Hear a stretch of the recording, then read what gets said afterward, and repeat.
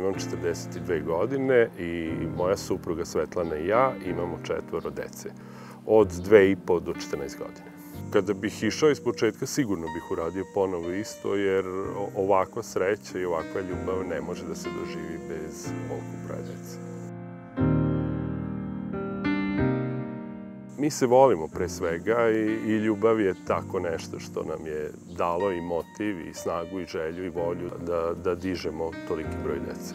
Višečlane porodice imaju drugačiju dinamiku od e, porodice sa manje dece. Oni zahtevaju svako svoj prostor i svoju pažnju, ali evo sad u ovom karantinu je njima bilo sigurno zanimljivije nego porodicama sa jednim ili dva deteta.